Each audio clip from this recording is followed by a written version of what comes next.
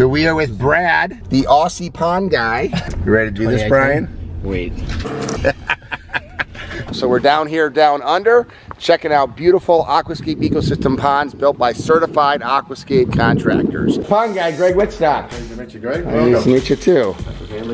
Hey, I'm Brian. And Brian.